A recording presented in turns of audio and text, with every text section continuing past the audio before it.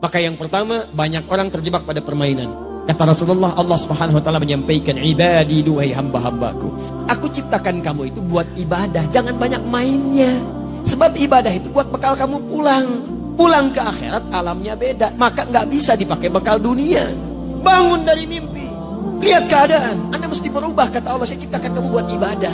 Kalau kamu terjebak pada permainan dunia, aku khawatir saat pulang nanti ke akhirat kamu nggak bahagia. Lihat anak bahagia, lihat cucu bahagia, main dengan cucu. Permainan bahagia. Tapi kalau kamu ke akhirat gak punya bekal, kamu berpisah nantinya. Bapak ke surga, anak ke neraka. Istri ke surga, suami ke neraka. Anak ke surga, bapak ibu ke neraka.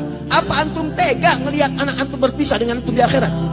Sedangkan anda yakin akan ada surga, anda yakin ada neraka, anda yakin ada kematian. Pertanyaannya, anda yakin wafat tapi tidak siap-siap dengan bekal wafat anda.